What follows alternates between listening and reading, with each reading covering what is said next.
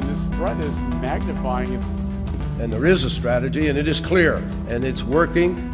That our ISIS strategy is not working. The threat from terrorism is real, but we will overcome it. We will destroy ISIL and any other organization that tries to harm us.